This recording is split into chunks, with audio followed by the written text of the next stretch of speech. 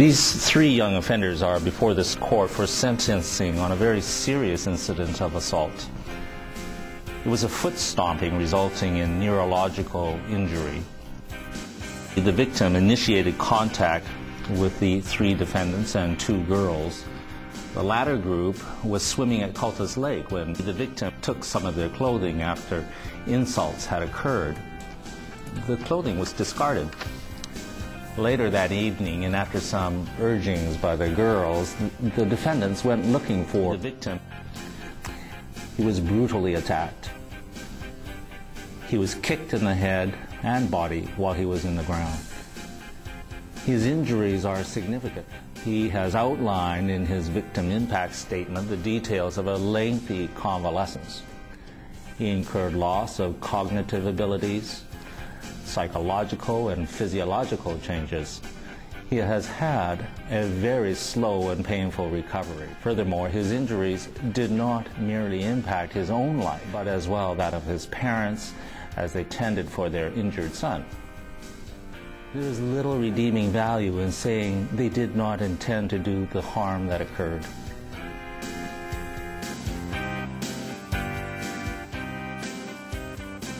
Well, the defense, uh, we were having a good time. Picked up some girls on the beach. Went out boating. Did a little bit of cliff jumping. Went uh, drinking and still Oh, we were all skinny dipping, having a good time with the girls. A few guys came walking up on the dock, approached us, asked if we had any uh, marijuana to buy.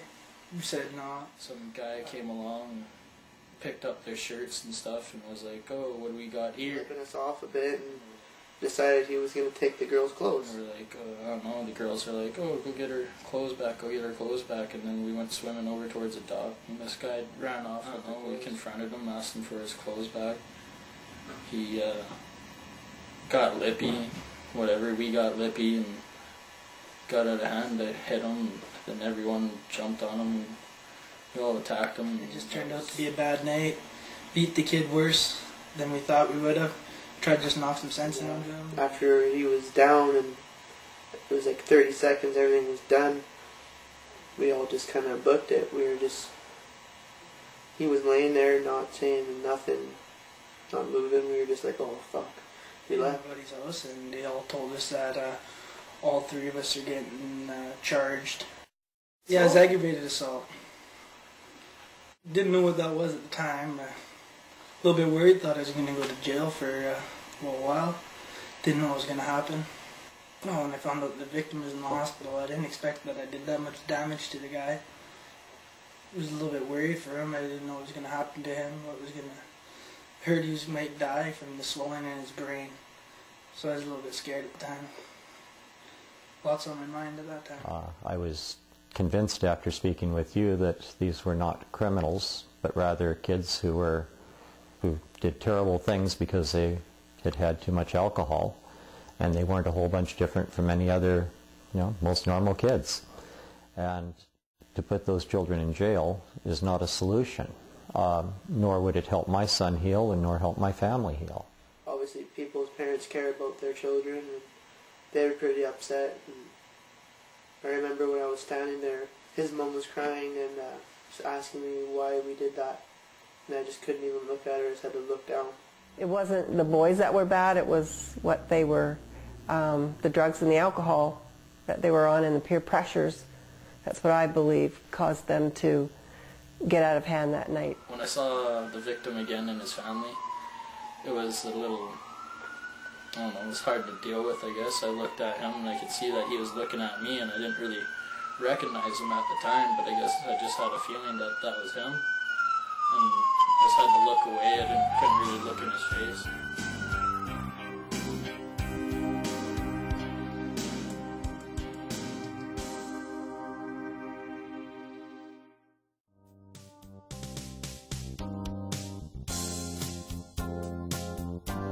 Well, I received a call at midnight. I'd been trying to page Colin for about an hour and he hadn't answered my pages. And about midnight, I received a call from the Cultus Lake uh, police.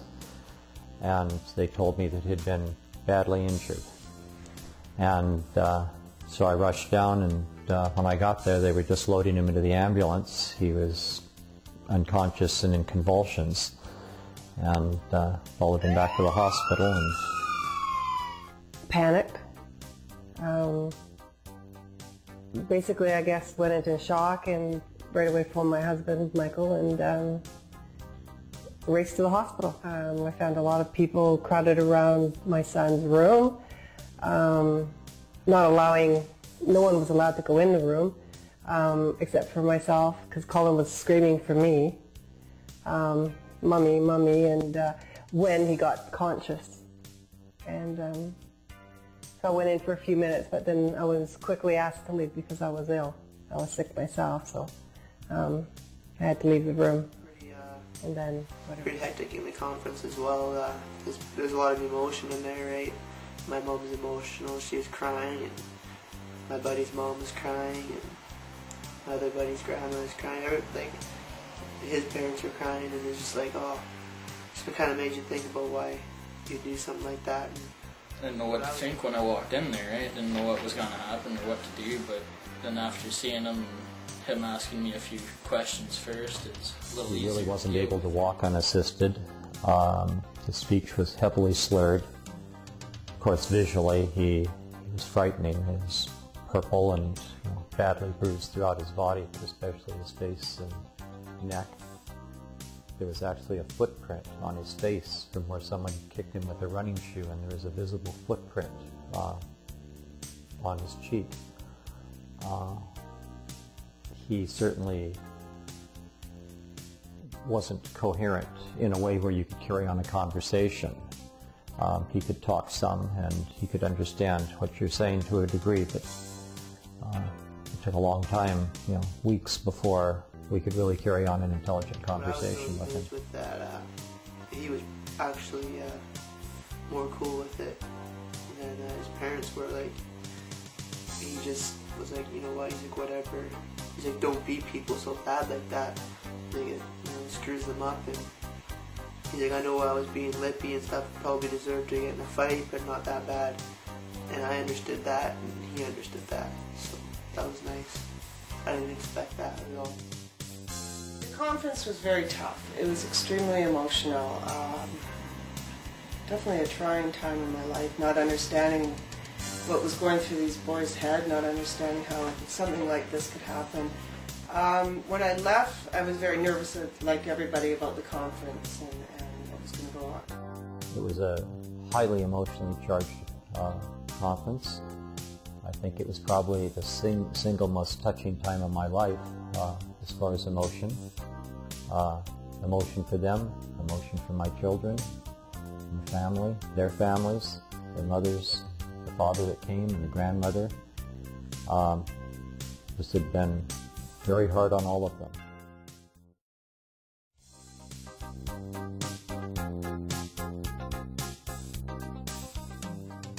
These three youths' willingness to participate in a family conference and the constructive results demonstrates that a community-based sentence is likely the appropriate response. Furthermore, each youth, by their social background, family support, and strength of personal characteristics, appear to possess the basic tools to carry out the terms of a probationary order.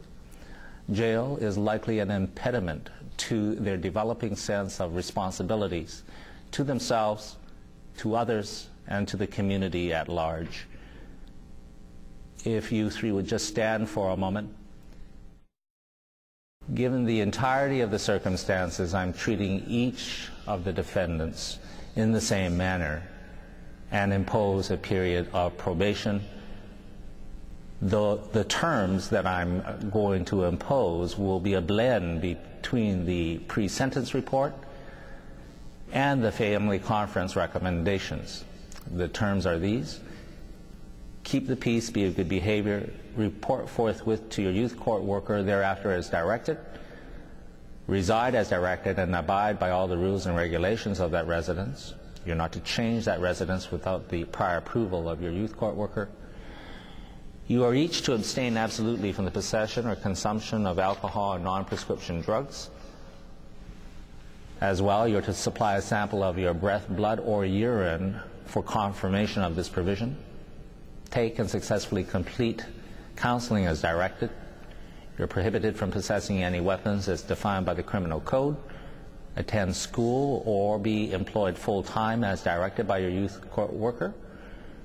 You're each to pay $150 to McKee on or before December 24, 2003 towards the costs of an electronic learning aid. As well, pursuant to your agreement reached at the family conference, you're each to perform 50 hours of community work service to be completed on or before June 30th, 2003. And that uh, community hours are to be for the purposes of the preparation of a video and presentation to schools on the adverse effects of alcohol and violence. It's also appropriate in the uh, circumstances pursuant to the provisions of Section 487.05 sub 1 that each of you provide a sample of your DNA.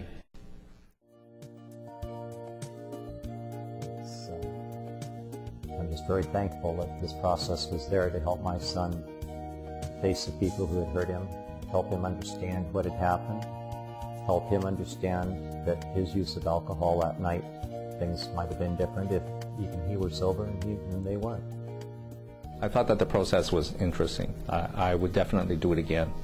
I, uh, I think it's also important that that sufficient amount of time be allowed to have a meaningful process occur. Uh, should it fit in before actual sentencing itself occurs? Can it become a term of a probation? Perhaps the best route was as we had done in this occasion, and that is before formal sentencing had occurred. Uh, and probably also for a couple of other reasons. Uh, if if the sentencing there, there's a definite shift in how sentencing is to be approached uh, for young offenders. And, and the whole aspect of rehabilitation becomes a very, very powerful message. Uh, even in serious crimes such as this. It depends, of course, on the young offender, but it, it, it doesn't stop there, obviously. It, it includes the uh, victim as well. And it's probably a new experience for everyone to um, shift that focus and make sure that the victim becomes part of the um, uh, rehabilitative package. It was almost like a gift, a bad way to get that yeah, gift, yeah. but in a way I'm kind of glad this happened to my son because I think he's learned a huge lesson in, in, life at a young age, and I believe you know all the all all the boys have. Uh, but I think it all put our souls at rest to a great degree. And uh, I, I think this kind of process is going to be used a lot more in our judicial system as time goes on, and especially with young offenders.